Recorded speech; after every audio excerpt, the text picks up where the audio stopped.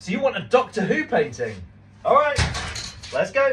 Okay, for the TARDIS, I want to start with some of this navy blue. Ultramarine, Scar Douche. This part took me a while to cut out, I'm not gonna lie. Just some final little details with this iron curtain. Okay, now the fun starts. I want flame blue, fluorescent pink.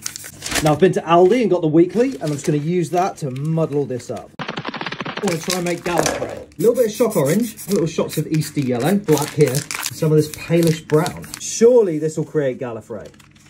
Ooh, it might. Now I'm going to protect Gallifrey with this bowl. Now for the sky, we're coming in with a little navy blue and some black. Now for the stars, you know we've got to keep it sticky. Flick them on nice and gentle. Skadoosh, skadoosh. Now I've covered everything in the doctor's head. I'm going to start with some flame blue all over here. A little gleaming pink just around the edge. Now for some crackle white over the whole painting. Now we'll just activate that and boom.